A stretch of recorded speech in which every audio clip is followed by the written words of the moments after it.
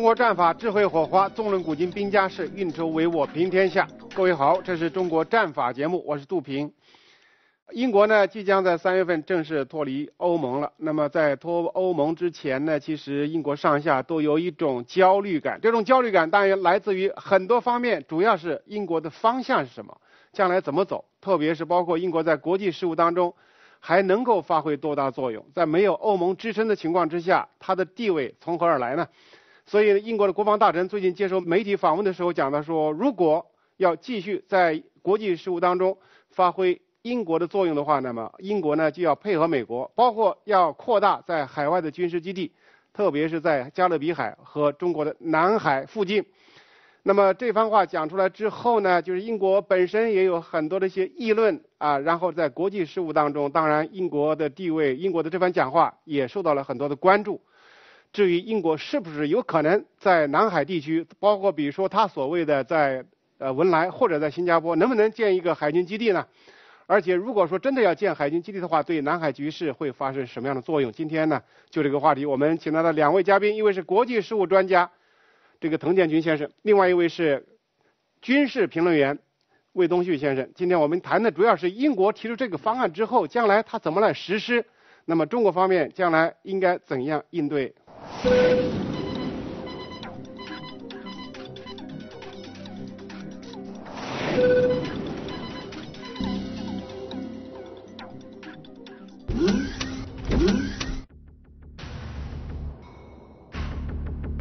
今年一月，英国国防大臣加文·威廉姆森表示，英国可能在南海、加勒比海等地建新军事基地，真正发挥全球作用。威廉姆森说：“脱欧后的英国人应该更乐观，这是自二战结束以来最了不起的时刻。我们可能在世界舞台上扮演世界期望我们扮演的角色。”在刚刚过去的2018年，英国军舰曾多次闯入南海地区，进行所谓的航行自由行动。新年伊始，英国又发出这样的声音。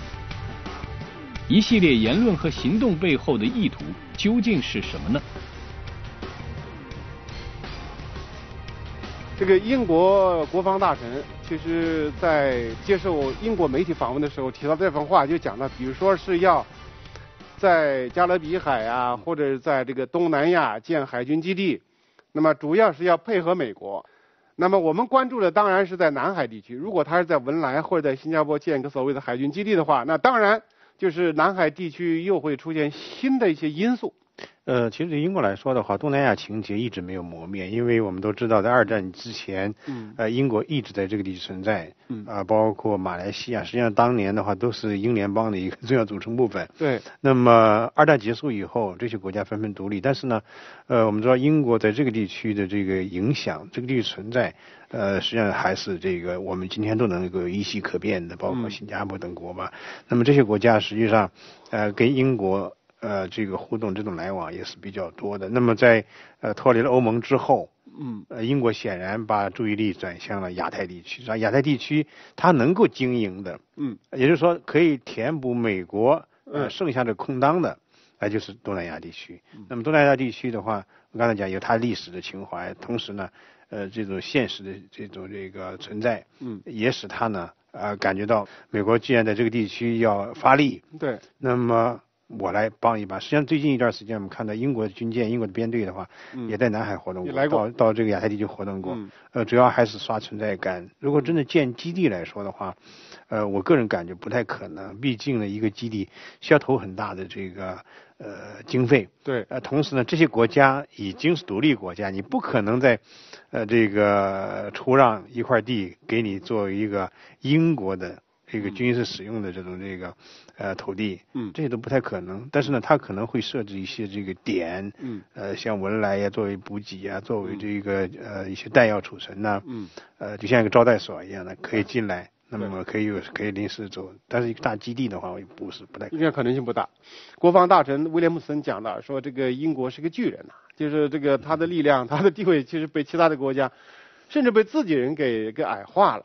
啊有有这种想法，但是他他他他的那个目标当然很大，作为国防大臣啊，常理上可以理解。但是问题就是说，英国现在目前好像也不太具足具备这样的实力。就是东旭，你看啊，他的军事实力，这怎么来分布呢？就是如果你作为一个世界一个大的这个，比如说你想发挥那么大的作用的话，那欧洲你要管。呃，加勒比海你要管，呃，南海地区你要管，你把自己当成美国了，有这种感觉。但是我觉得这个实力好像是不是那么充分。对，确实是这样。我认为英国国防大臣的这个说法，呃，显得有点膨胀。那么他目前提出的计划，显然就是一个画饼充饥的计划。因为英国脱欧之后，其实英国。普通的民众和老百姓是有一种焦虑感的。嗯。呃，脱欧之后，尤其是在没有达成协议的这个脱欧之后，它的 GDP 肯定是要下滑。嗯。那么，既然说经济方面可能会出现下滑，或者说会出现一些不确定的因素，他就希望在军事方面去做文章。重拾所谓大英帝国的这种影响力和荣誉。从目前来看，他真正能够拿得出手的，其实就是英国海军。空军想要在全球范围内进行布点是完全不可能的。空军是不可能。对，是绝对不可能的。因为首先，就像刚才滕老师提到的，东南亚国家也好，其他国家也好，不可能再给他新划设这种军事基地。那么，英国海军想要在东亚地区，尤其是想在南海地区进行布点，呃，我认为其实还是两个点，就是刚才咱们提到的新加坡和文莱。那么，新加坡呢？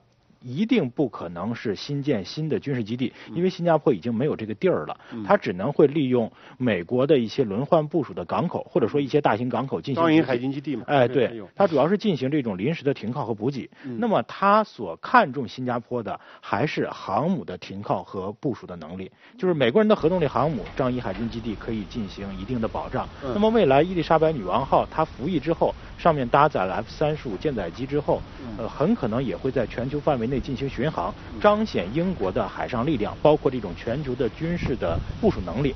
那么亚太地区肯定是它将来一个海外的一个重要的活动区域。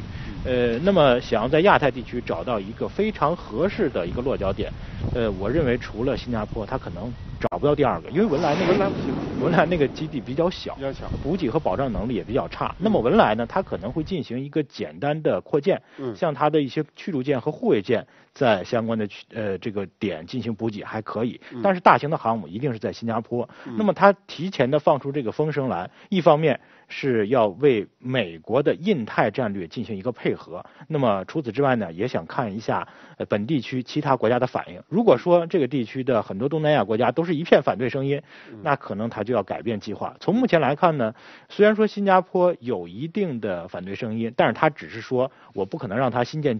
这个军事基地，但是合作的这种可能性是存在的，所以他将来一定会来，来的应该是他的海军，来的应该是他海军的精锐力量，比如说以后伊丽莎白女王级航母、先进的四五级的驱逐舰，甚至包括刚才您提到的攻击型的核潜艇。那么他在亚太地区，尤其是在西太平洋或者说南海地区，不太可能是单独行动，可能是和美国海军第七舰队进行一些联合的演习和联合的训练，去。展示这种存在感，通过展示这种存在感，提升在全球范围内的影响力。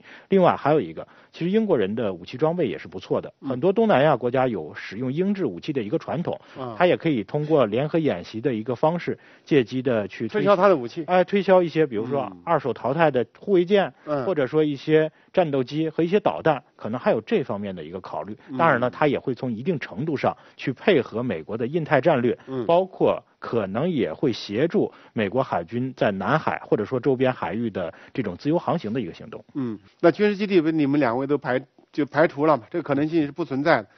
这个可能性不存在，主要原因还就是刚才就两位提到的，一个就现在这个东亚地区的这个国际政治环境跟他想象的也不一样，不是那种冷战时期。你说，比如说像新加坡也好像文莱也好。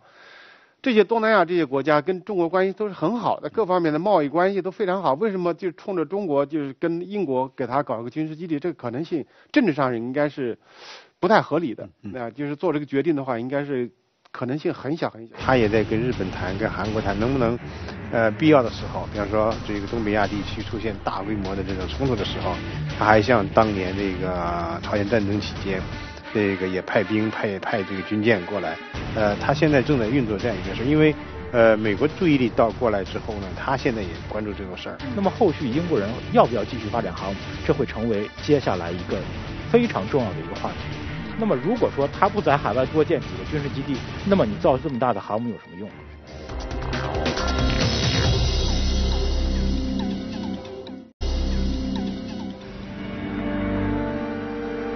同样在今年一月，英国国防大臣威廉姆森针对南海的发言，仅仅过去几天，驻扎在日本的美军导弹驱逐舰麦克坎贝尔号与英国护卫舰阿盖尔号在中国南海进行了海上联合军演。这是自2010年以来，美英军舰首次同时出现在南海。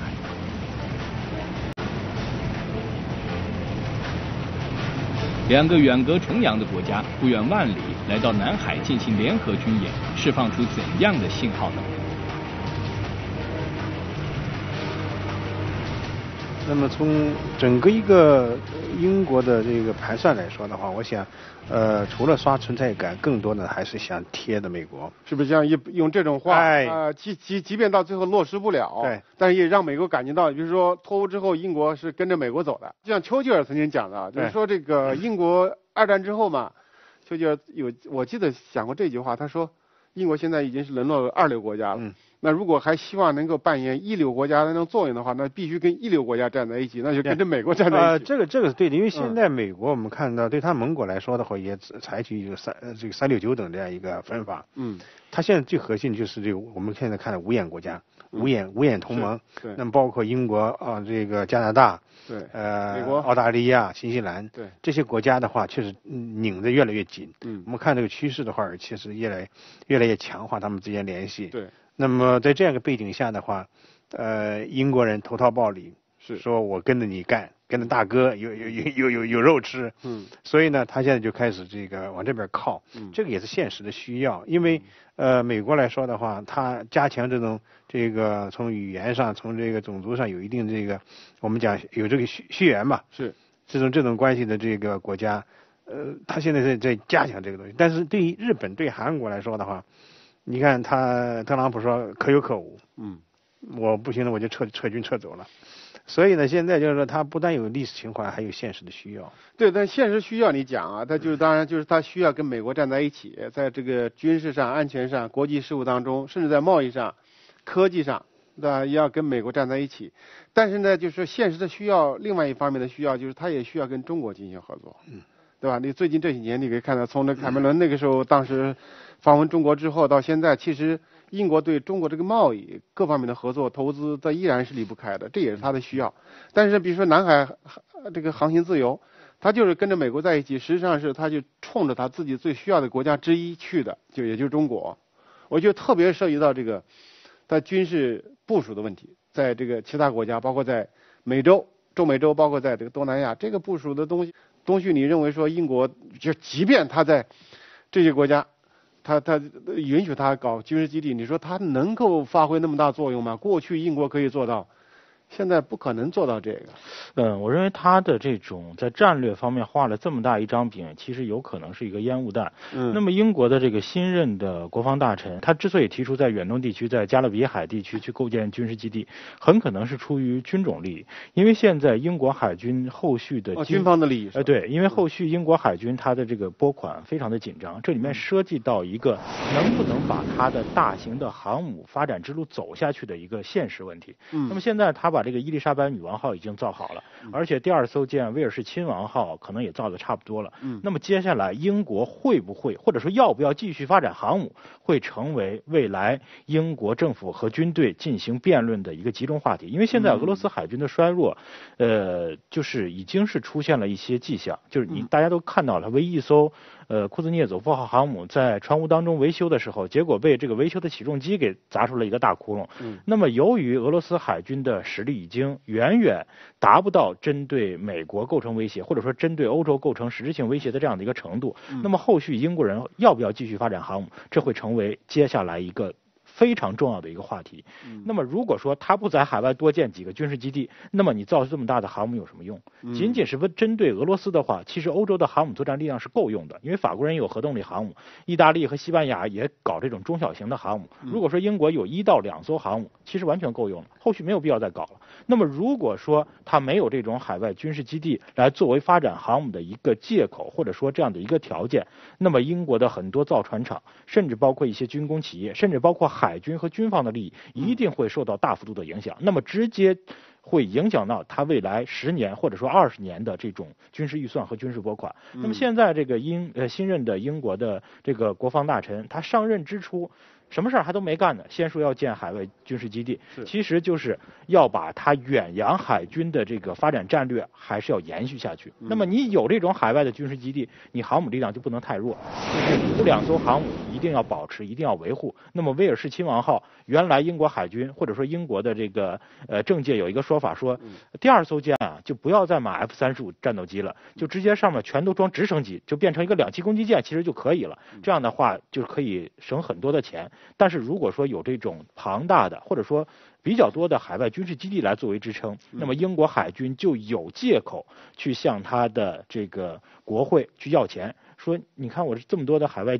军事基地是不是第二艘航母的舰载机你要给我配齐？所以说它可能也体现出一些军种的利益在里面。还有一个就是和中国的关系，我认为和中国的关系虽然英国会配合美国，但是在于对中国的问题上，尤其是一些敏感问题上，它一定是雷声大雨点小。它有可能会在南海配合美军搞一些自由航行的一个行动。嗯，但是我相信靠近某些敏感岛礁的时候。一定是美国军舰冲在前面，英国人的军舰远远在后面跟着，他不太敢进这个十二海里，因为以前就是去年的时候，他也派出了这个军舰了，其实离一些南海敏感的岛礁距离还是比较远的，可能我们连英国海军的影儿都没看到，他只是宣称我进行了自由航行，然后访问了几个国家，马上就回英国了，并没有过多的。攻击性和挑衅性的动作。那么这几天我们看到蔡英文突然跳起来，他说欢迎英国到这个东北亚地区进行自由巡航，呃，说了一大堆赞扬英国的这个好话。但是英国军方和英国政界并没有搭茬，这就说明他所谓的这种呃在南海配合美军的行动，可能是做表面文章。说只是做做样子啊，对，给美国人看。呃，我估计他是不会进入到东海，或者说在台海有一些挑衅性的动作，这个他是不敢的。这是不敢的。我觉得英国离这个东亚这么远，哪怕是在欧洲，你现在还是北约的一个重要成员国嘛。对。那如果说你要替美国人，就是说这个效劳或者是讨美国人的欢心，你在北约里面担当起更大的责任，我觉得可能是比较合理的。嗯。但如果你跑那么远，跑到这个中国家门口说搞个自由航行，一方面又得罪了中国，一方面又让你感觉到你自己就是。就不自量力的感觉，嗯，会不会是这样的？呃，他其实他并不这么认为。我觉得他英国有这种情怀在这个心里边，呃，他一直想在这个全球范围内有所作为，嗯，这是一个基本的驱动力。那么在这样一个大背景下的话，像呃英国要在亚太地区显示存在，包括呃派出他的作战编队过来，嗯，呃，包括这个建设一些这个军事设施，或者是使用。呃，有关国家的军事设施，这个都是有可能的，因为我们现在看到他也在跟日本谈，跟韩国谈，能不能，呃，必要的时候，比方说这个东北亚地区出现大规模的这种冲突的时候，他还像当年这个朝鲜战争期间，这个也派兵派派这个军舰过来，呃，他现在正在运作这样一个事，因为呃，美国注意力到过来之后呢，他现在也关注这个事儿。那么谈到中英关系呢，我觉得，呃，总体来说的话，现在特别在经贸政治方面呢，应该说发展的比较稳定。你比方说，呃，这个人民币。这个首先在这个伦敦作为这个海外海外的海外海外的一个重要的重要的中心吧。对。而且呢，呃，英国呢也看好中国在这方面的这个潜力。嗯。因为呃，一旦脱欧之后，它跟欧洲的一些合作可能就会慢慢慢慢的放缓。嗯。它不一定这个完全停止，但是呢，它放缓之后，它必须要有个突破口。那么，他也希望把自己的伦敦，它金融街的话，搞成一个呃这个桥梁。那么架起这个不单单跨大西洋，而且呢也跨这个印度洋，嗯，这直接跨到这个亚太地区，呃，跟中国呢，呃，这方面合作应该是前景非常广阔。嗯，只不过现在呃由于政治的因素吧，你像，呃，现在美国跟中国说三道四，就你刚才讲的，包括技术层面对我们的封锁，我觉得这都是暂时的。从长远来说的话，它挡不住中国的发展。嗯，它要发展，它要这个占领中国市场的话，必须。得这个必须得加加强合作，他不可能呃跟美国一样。美国海军陆战队使用的也是 F 三十五 B，呃，包括他们进，他们还经常进行这种舰载机的相互之间的呃这样的一个起降，说不定以后英国海军的航母上就混着美国海军的舰载机，我们确实要保持关注和警惕。就是英国在东亚地区的军事行动，它的背后有哪些美国因素？呃，同时呢，我觉得也给域外国家也提了一个醒，在这个区域的话，呃，中国正在补齐一个短板，就是安全合作。嗯。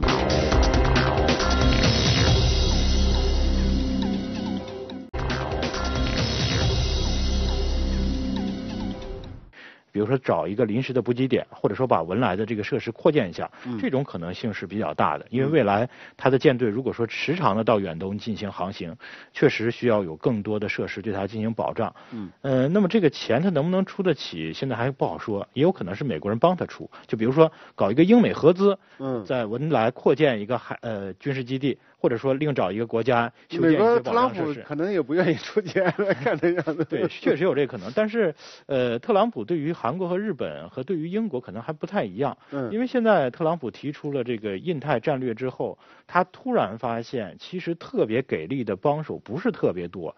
因为韩国和日本在亚太地区的军事实力很强，但是这两个国家本身就有矛盾，想把他们整合到一起难度比较大。因为不久之前这还出现了这个韩国军舰去照射日本。反潜机这么一个情况，对，说明这两个国家是有矛盾的。那么在印太战略当中，印度虽然它的军事实力很强，但是印度本身又有一个大国梦想，所以说它是有自己的一些想法的，也不可能完全按照美国的指挥棒去走。那么在这种情况下，它就需要一些北约的力量来到印太战略这个局当中去，对美国提供一些帮助。嗯，他找来找去，发现北约这个盟。成员国当中，可能也只有英国一个人能过来，其他的德国和法国是不可能派军舰到印度洋和太平洋去配合你这个印太战略的。所以英国提出这个方式，说不定是美国先暗中打了一个招呼，就是做一个铺垫，说以后你要配合我的印太战略，所以说事先先把这个保障设施和补给点搞好。那么以后你军舰过来，或者说其他的军事装备过来，你自己有一个地方，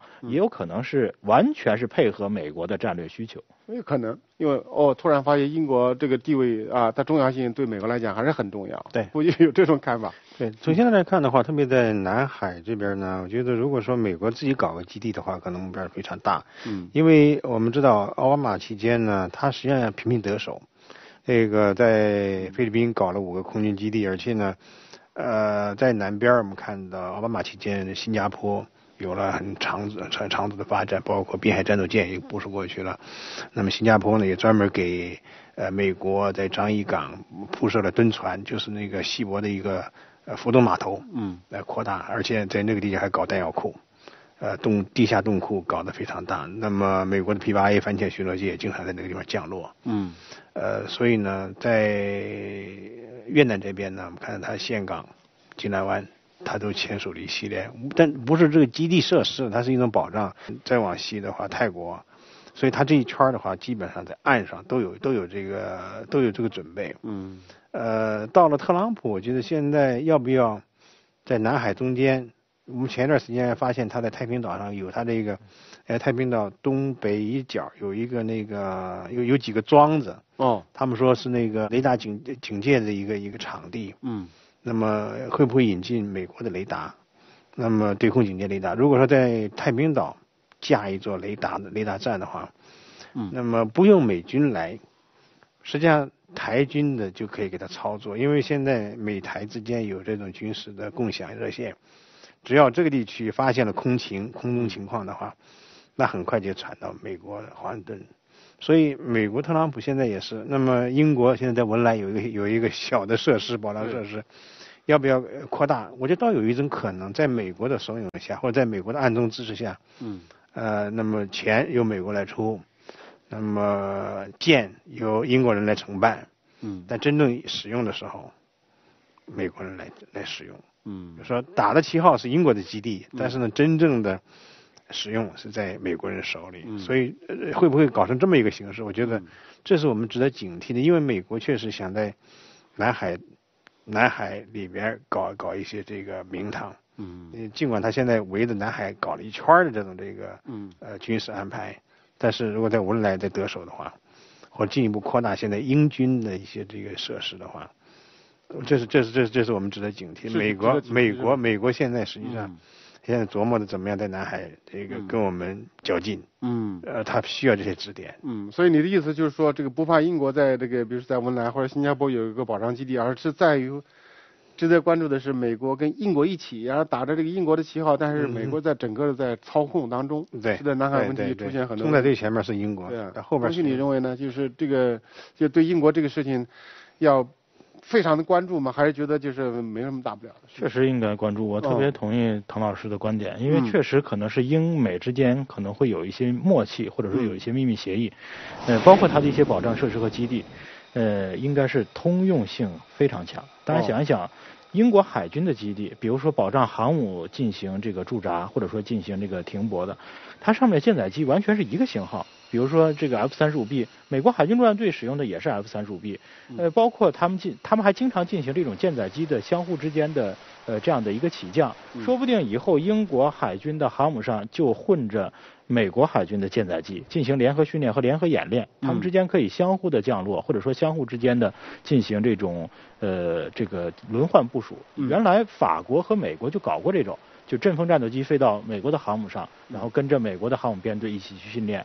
然后，那么以后英国可能也会出现这种情况，就是它的保障设施，甚至包括它的航母上，可能也会出现美军的人员，或者说美军的战斗机。呃，那么对于这样的一个情况，我们确实要保持关注和警惕，就是英国在东亚地区的军事行动，它的背后有哪些美国因素，包括它新建的一些军事设施，或者说所谓的军事基地，呃，会不会成为美军的耳目？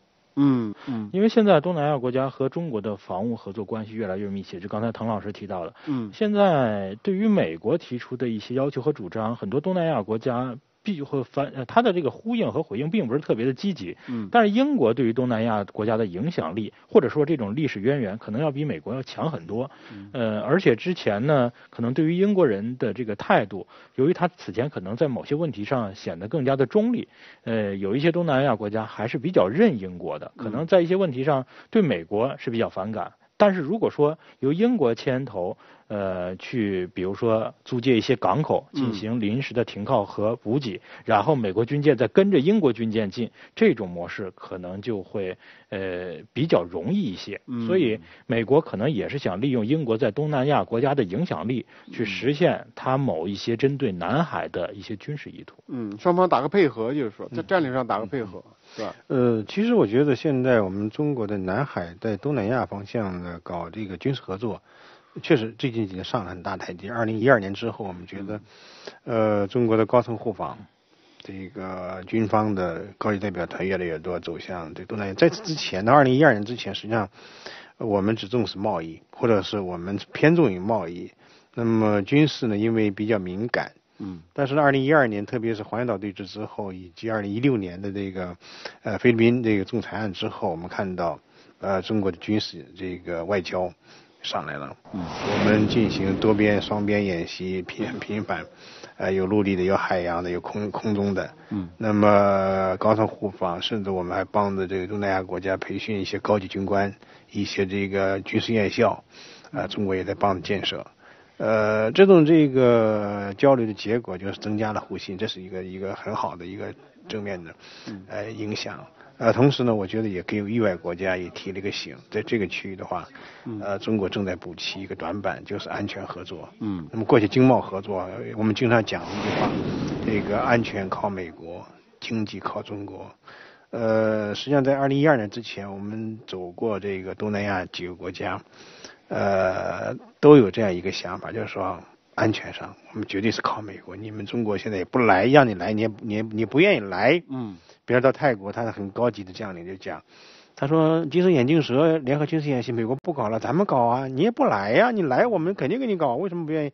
跟文莱的这个 高级官员一讲，你来呀，来我们就可以搞联合军事演，我们来了。嗯。来了以后效果就是。呃，很多人感觉到南海现在出现了稳定，当然外交是一个方面。嗯，这个咱们的外交官也做出确实巨大努力，包括这个行为准则谈判。嗯，呃，看着克强总理前不久在在在在新加坡开会的时候也讲了。嗯，这个用几年时间达成这个这个框架框架系，就是呃那个行为准则。嗯，这个不单单框架了，就把这把这行为落实到落实到文字了。嗯，呃，确实。我们在这个安全合作方面，呃，这种这个强化。应该说美国着急，